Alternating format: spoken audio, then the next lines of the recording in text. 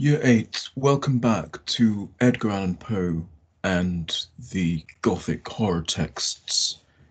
We're going to start a new story today from Poe. It's called The Black Cats. So, if you like cats, you'll be able to see one shortly and then read about one. Um, before we begin, let's do a touch of revision. A while ago, you would have learned the word duplicitous you may remember that duplicitous means two faced or deceitful. But in what way was Lady Macbeth duplicitous? Let's have a think. Lady Macbeth. Macbeth's anxious or ambitious, then later anxious wife. But when she was in the non anxious phase, she was pretty duplicitous. But in what way? Well, at dinner with Macbeth, she tried to persuade her guests that Macbeth wasn't having a fit of guilt. It was just because he was having a one of his childhood fits, if you like. It was nothing to do with his guilt over murdering the king. That's one way she, through duplicity, presented a public face of elegance when really she was involved in an assassination. Gesticulation, then, more recent. Remember this word, gesticulation? Bit similar to gesture. What's gesticulation drama? It's body language, it's movement. But what gesticulation did the narrator demonstrate? When, during the police interview, he thought he could hear the old man's heart beating. We read a story recently, didn't we, about a man who was killed because his eye disturbs the narrator. Then he was buried under the floorboards, and you may remember that the the narrator waved a chair around his head to try to make noise to drown out the sound of the this imaginary heartbeat. Today, you need to know what a disposition is, and actually about a billion other words, but let's look at dis- disposition first. It is a person's quality of mind or character. So please write this down. Disposition means quality of mind. Um, you might know play Hamlet. He has an antic disposition, which means a mad state of mind. He says, so how does alcohol pe help people who have a nervous disposition? If you're nervous, how does alcohol help people? Probably too young to know, but it well that's your uh, that's your question to well it might, help calm people down give people a certain um, um, sense of confidence or um, a certain flow with their their jokes that sort of thing. Um, basically calm their nerves and if someone is drunk, what gesticulation would you expect to see in them? So, have you ever seen anyone who's had a lot to drink, a lot of alcohol to drink? Um, or how do they behave? What body language do they um, exhibit? Perhaps a bit aggressive, a bit forward, a bit, a bit wild. It's up to you. Uh, why am I talking about alcohol? Well, Edgar Allan Poe loved the stuff, and I need to tell you all about his drinking habit before we start reading the story. Uh, so we're going to summarize the story, read some of it, not all, be reminded of Edgar Allan Poe and his extraordinary way of writing, uh, and then write a little paragraph about how insanity is presented in the story. So we're going to start reading it this week. We'll finish it next week, and next week I think it's a half week. Is it a half week? I think so.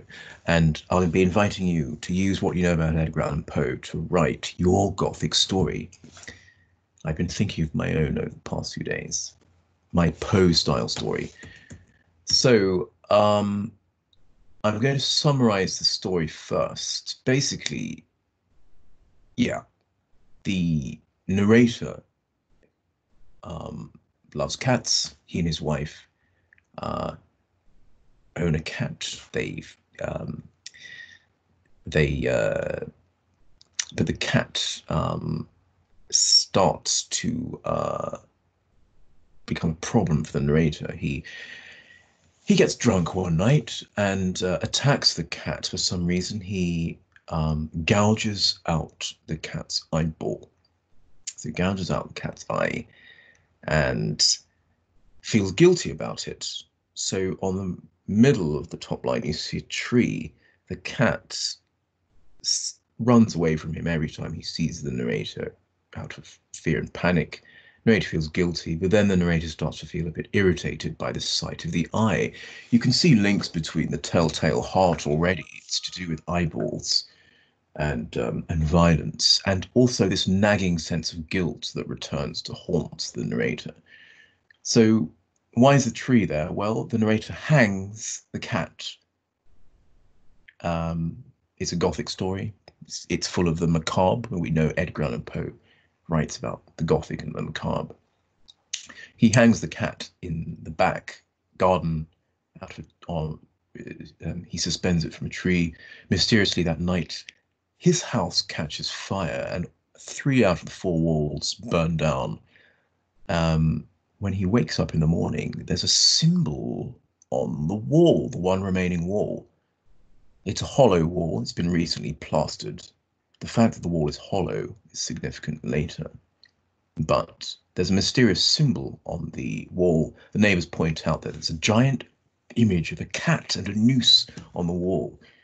The writer tries to explain it as uh, the reaction of ammonia from the hanged cat that was crushed by the stage by one of the falling walls, acting with the paintwork and creating a symbol. He explains it logically. Now, the narrator returns to the pubs, meets a cat in the pub that looks just like his black cat Pluto. Not the same cat, but it it's one that looks just the same. The only difference being a white symbol on its chest.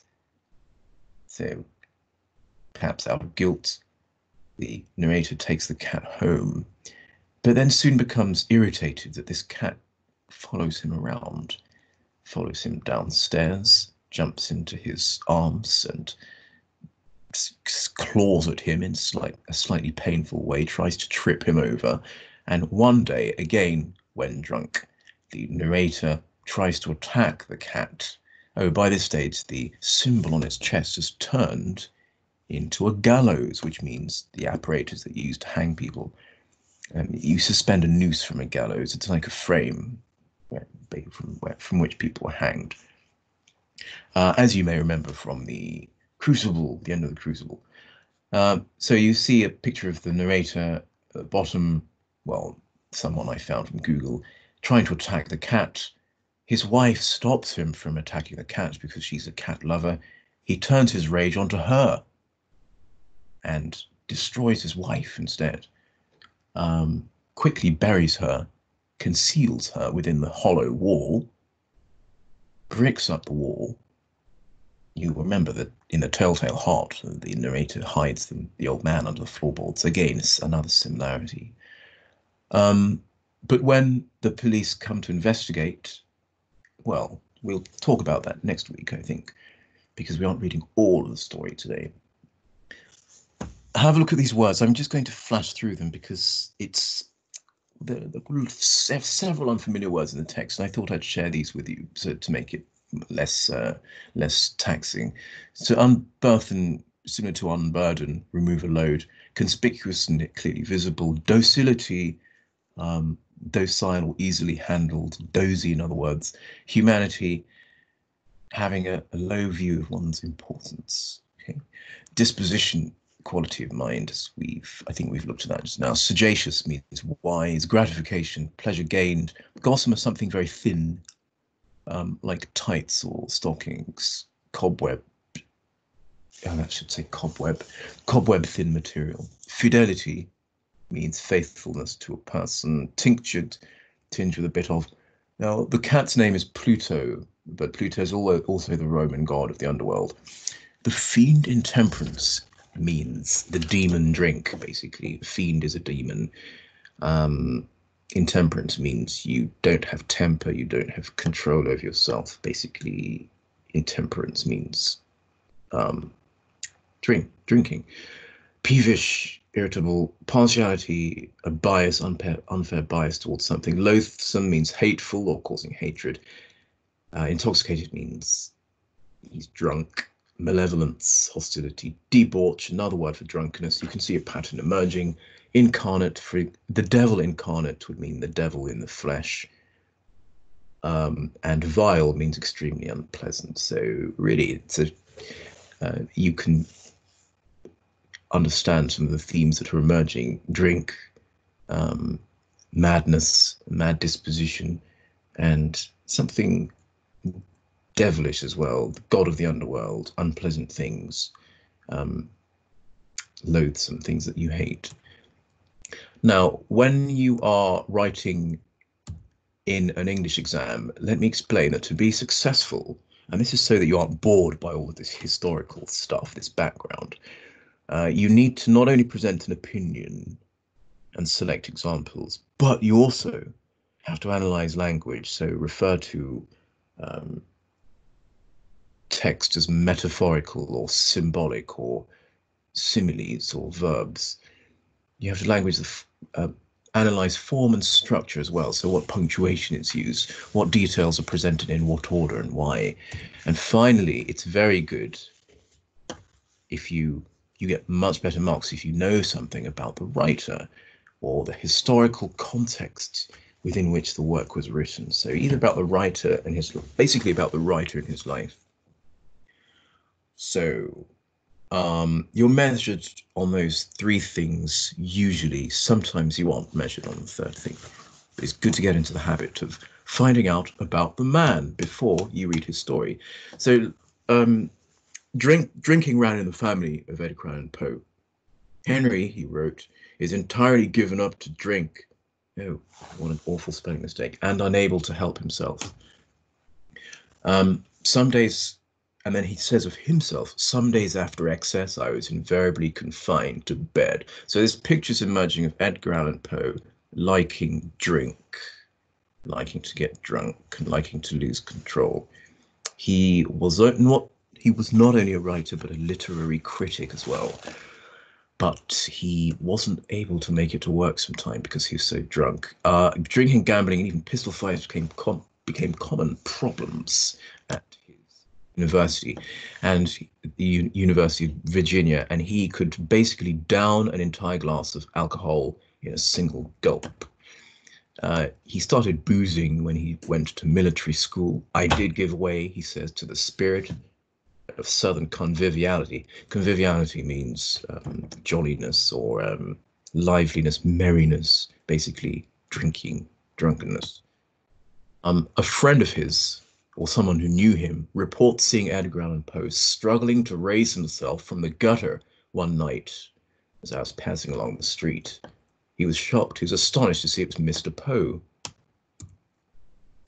Uh, and then a letter from Lambert Wilmer to John Tomlinson says, uh, I fear he's going headlong to destruction, moral, physical, and intellectual. He drank a lot because his wife was ill for about five years before she died. His wife, his young wife, Virginia.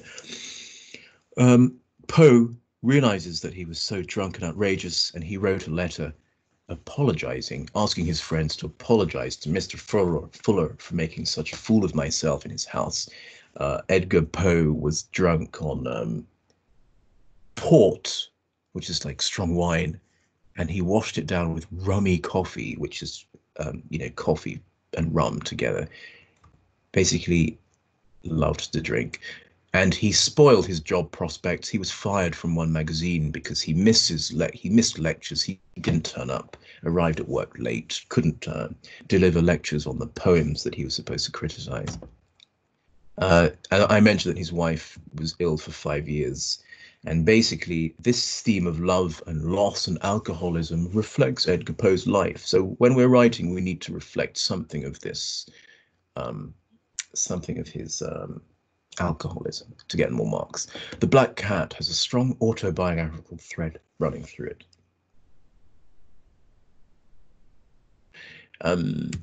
Before we yeah before we remind ourselves of Edgar Allan Poe, let's start reading the story. So I'm going to try and jump out of Teams. So I'm going to stop sharing that and share something else. Okay, so we should be in The Black Cat by Edgar Allan Poe. We'll start reading. We'll highlight a few quotations that we could use to answer the question, how does the writer present insanity? Basically the same question as last week with a different story. So he begins, for the most wild yet most homely narrative which I am about to pen, I neither expect nor solicit belief. Mad indeed would I be expect would I be to expect it in case where my very senses rejected their own evidence. Yet mad I'm not. And very surely do I not dream. But tomorrow I die, and today I unburthen my soul. Remember, unburden means I'm lighten. So he's confessing everything. My intimate, my immediate purpose is to place before the world plainly, succinctly, without without comment, a series of mere household events.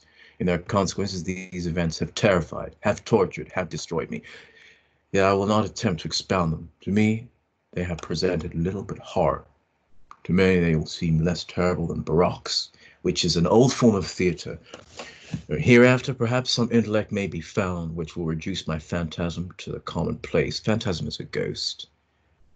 Some intellect more calm, more logical, far less excitable than my own, which will perceive in the circumstances I detail with awe nothing more than an ordinary succession of very natural causes and effects. Let's look at this little technique here. It's called parallelism, which means the repetition with a slight change. Have, have, have, have terrified, have tortured, have destroyed. So um, parallelism.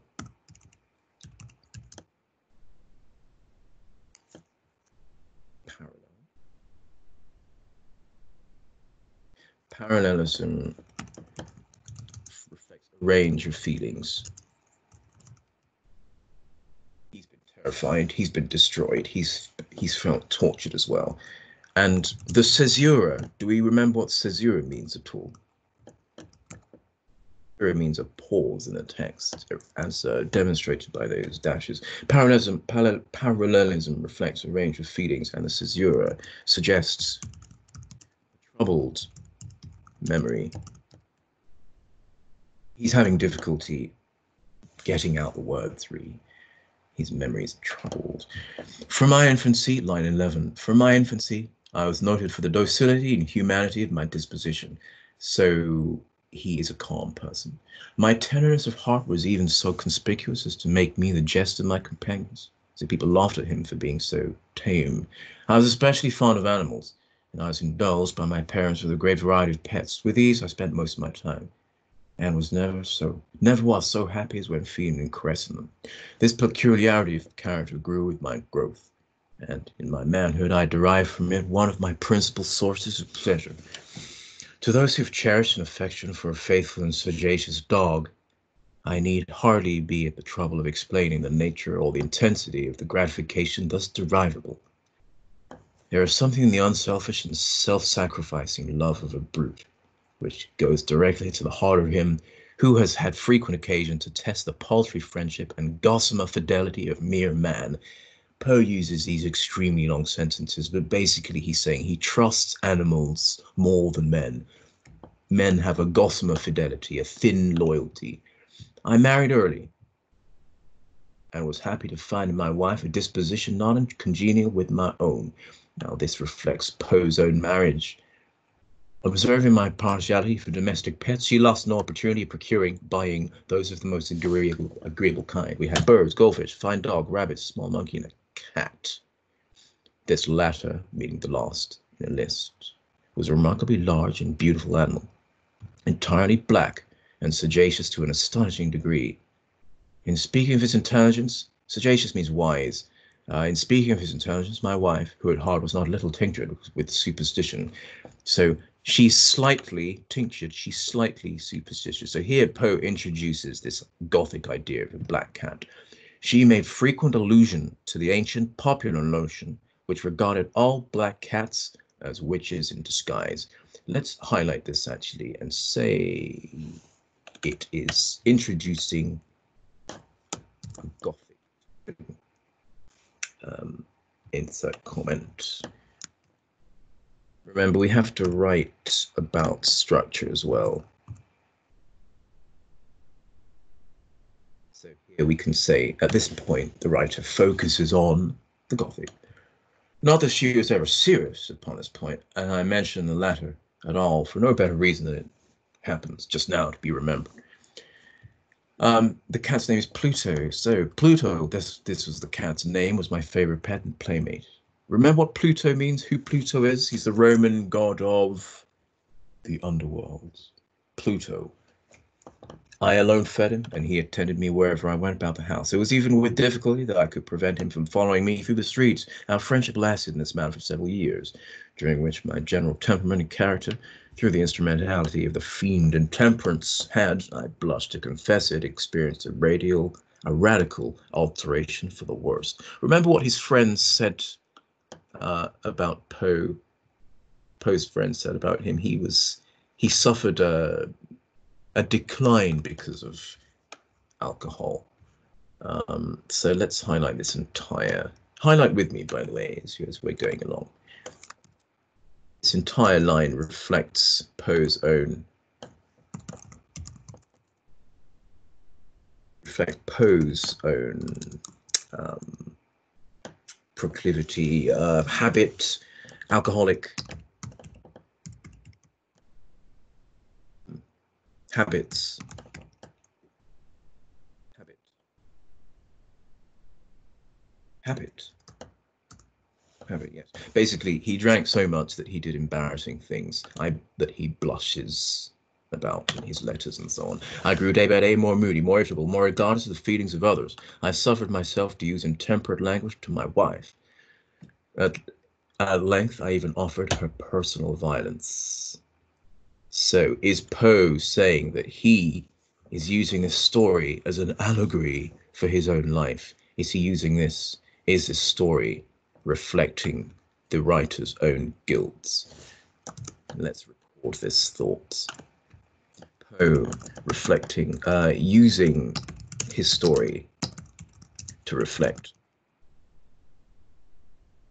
on his own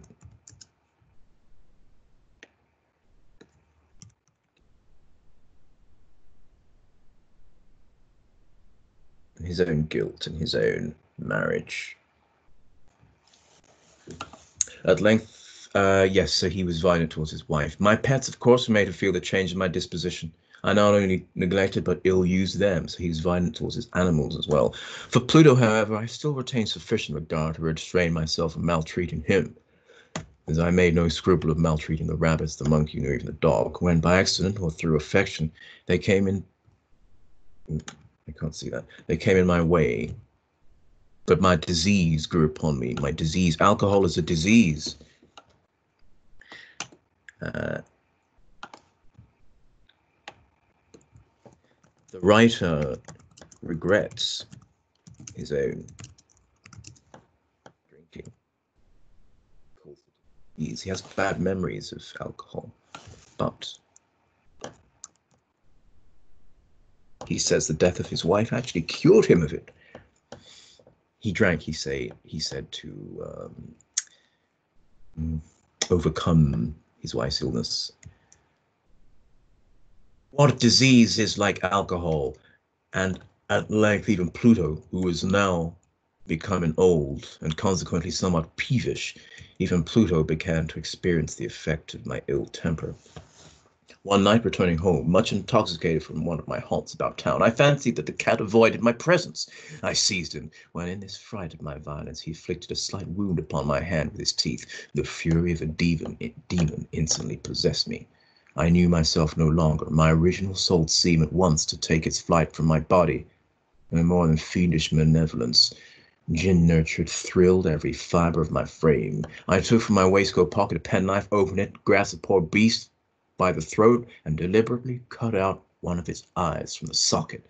I blush, I burn, I shudder while I pen the damnable atrocity. Again, what's this technique? A repetition with a slight change. Remember? Begins with P. Parallel.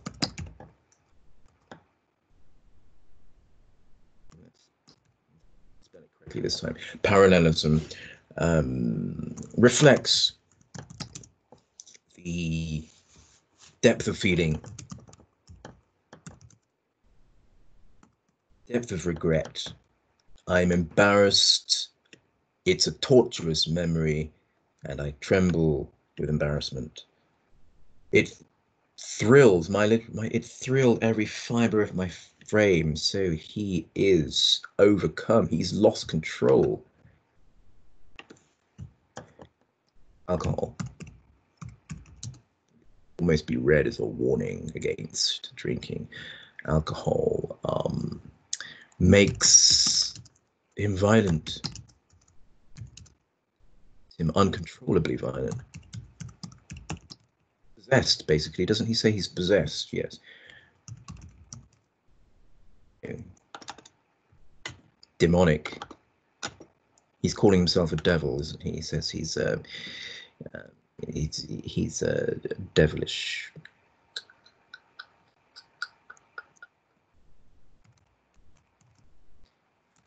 Diabolical behavior.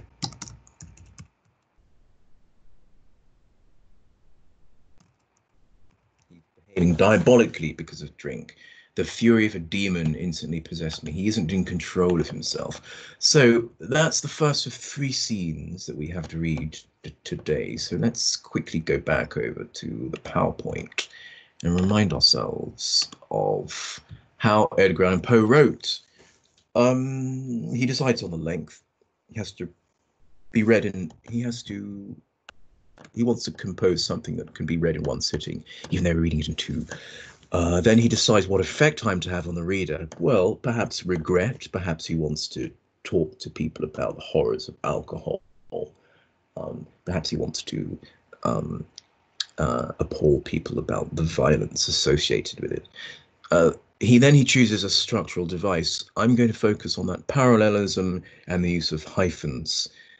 He uses it often. And which character should deliver it? Well, in this case, the narrator, because the, the narrator has mixed feelings and lots of hesitation in his um, because of the memory.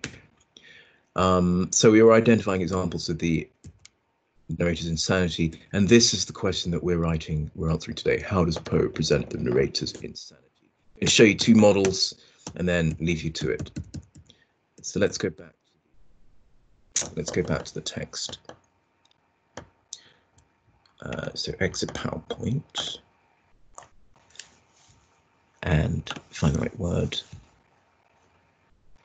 So when reason returned in the morning, when I had slept off the fumes of the night's debauch, I experienced a sentiment half of horror, half of remorse, that parallelism again, for the crime of which I had been guilty.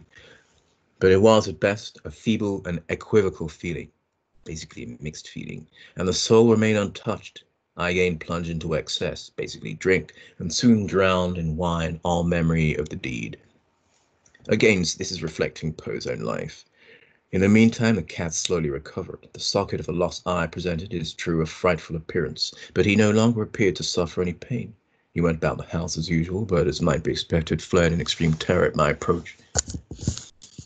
I had so much of my old heart left as to be at first grieved by this evident dislike on the part of a creature who, which had once so loved me.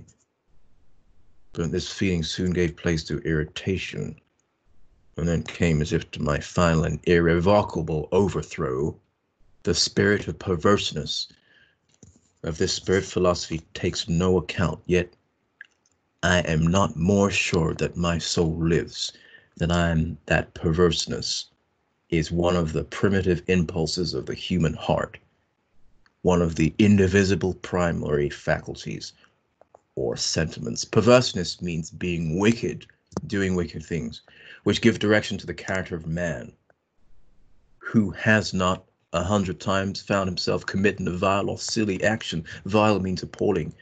For no, uh, no other reason than because he knows he should not. Have we not a perpetual inclination, in the teeth of our best judgment, to violate that which is law, merely because we understand it to be such? The spirit of perverseness, I say, came to my final overthrow. It was this unfathomable longing of the soul to vex itself, to offer violence to its own nature, to do wrong. So he says that man wants to do wrong. It's we are inherently violent. We have violent souls. For the wrong's sake only, that urged me to continue and finally to consummate the injury I had inflicted upon the unoffending brute. One morning in cold blood, I slipped a noose about its neck and hung it to the limb of a tree, hung it with the tears streaming from my eyes and with the bitterness remorse at my heart. Remorse means uh, regret. Hung be it because I knew that it loved me, and because I felt it had given me no reason of offense. Hung it because I knew that in so doing I was committing a sin, a deadly sin that would so jeopardize my immortal soul uh, as to place it, if such a thing were possible, even beyond the reach of the infinite mercy of the most merciful and most terrible God. What a huge sentence. But what we need to recognize is that the parallelism is underlining that depth of feeling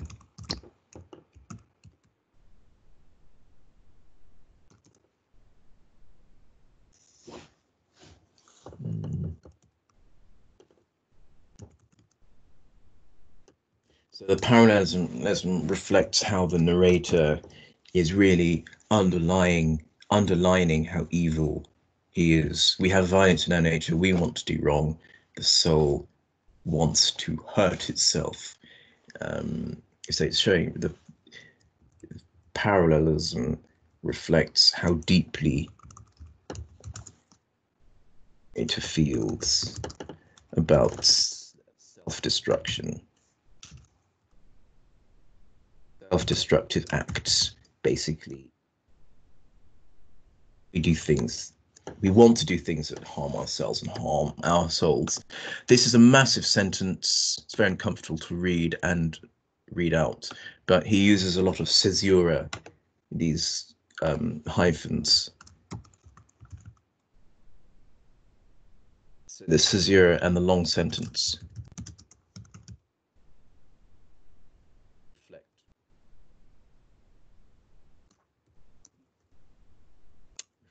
Um, a, it's a long train of thought.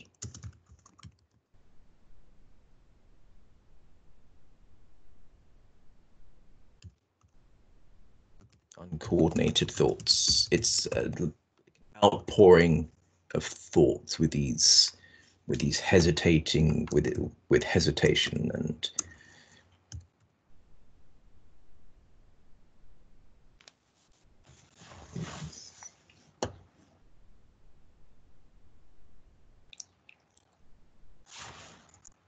uncoordinated. He's, he's saying, and another thing, and another thing. He, he isn't. They aren't structured sentence ends. He's just adding thought upon thought, because you could say he's insane. Focus on that idea of insanity. Um, on the night of the day, line 71 to, on the night of the day on which this cruel deed was done, I was aroused from sleep by the cry of fire. The curtains on my bed were in flames. The whole house was blazing. It was with great difficulty that my wife, a servant, and myself made our escape from the conflagration, which means fire. Do you remember I said that the night of the um, when the cat is hung, the house burns down. This is what's happening now. The destruction was complete. My entire worldly wealth was swallowed up, and I resigned myself thenceforth, thenceforward to despair.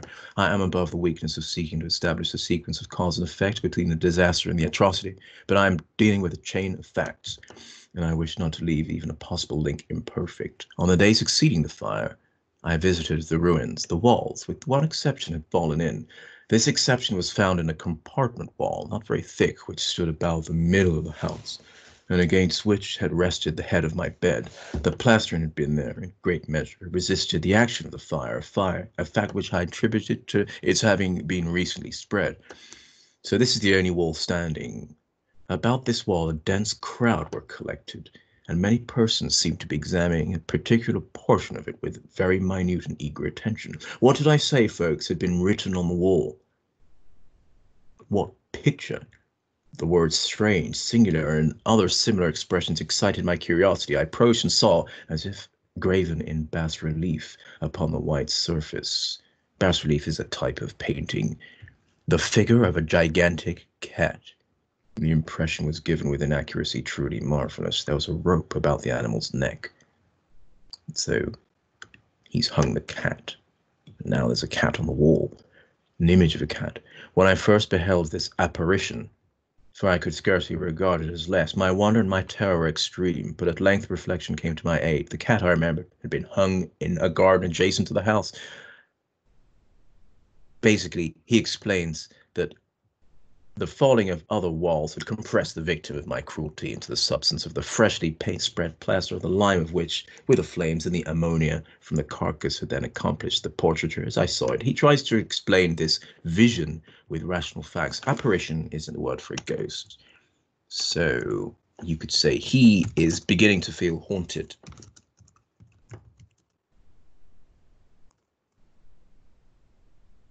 Um, you could say that the writer introduces a I, the idea of ghosts and haunting at the stage for your structure points. Um, this freshly spread plaster, the lime of which with the flames and the ammonia. So he's trying to explain it scientifically. Let's push on. Although I thus readily accounted for, to my reason, if not altogether to my conscience, for the startling fact just detailed, it did not the less fail to make a deep impression upon my fancy. For months I could not rid myself of the phantasm of the cat and for months I could not rid myself of the phantasm of the cat. Um, I could not rid myself. Let's highlight this. This is a. He is going insane because he's. For months he is tortured, tormented, haunted. Haunted. Increasingly haunted.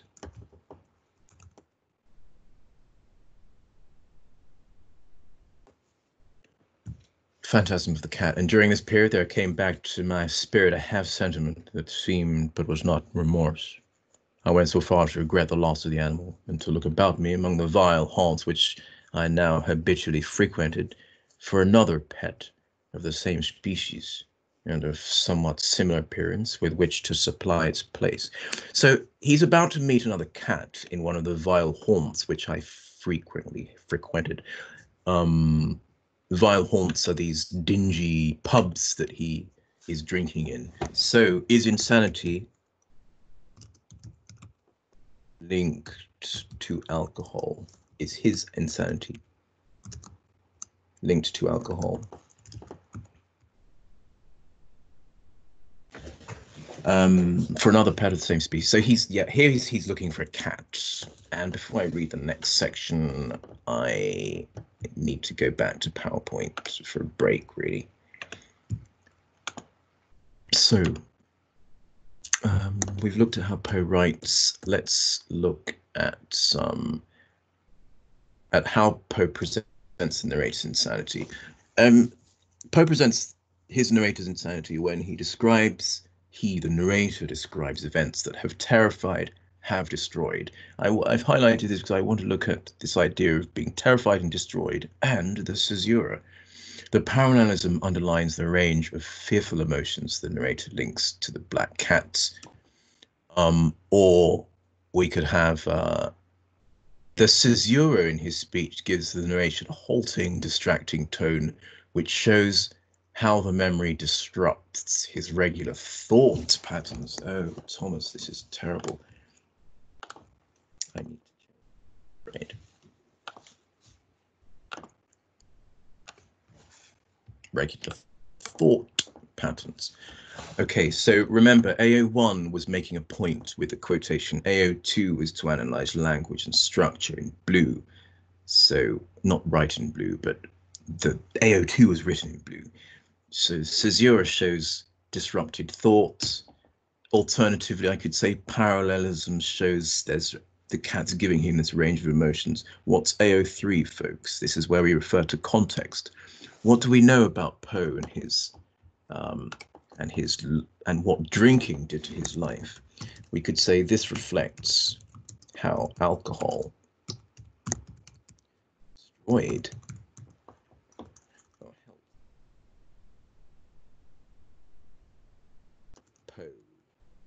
personal relationships.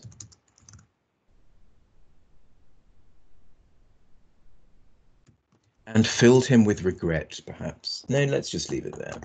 Actually, it shows you've understood some link between what's on the page and what was behind the man. So if I could share that with you. This reflects how alcohol helped destroy Poe's personal relationships. So we have AO1 in black, AO2 in blue, AO3 in red. That gives us the the the that gives us an opinion and relevant examples, an anal analysis of the language and the the, the context in which within which the work was written. Well, I'm going to have to finish this next week, I'm afraid, folks, because I've kept you for 40 minutes and you need to get on with some work. So over to you. If you could use what we've written so far to answer this question, how does Poe present the narrator's insanity? I've given you an example of how I've worked up a PEE. Uh, next week, we will finish the story and we'll have a go at writing like Edgar Allan Poe. Um, so could you list three examples of how the narrator's gesticulation conveys the writer's insanity? So yeah, how has the man behaved so far? And how does that show he's insane? Might help you with your PEE. Remember, we can talk about this tomorrow, uh, Tuesday morning at the Learning Clinic if you care to join me for a chat. If I don't see you then, I will chat to you next week. Cheers.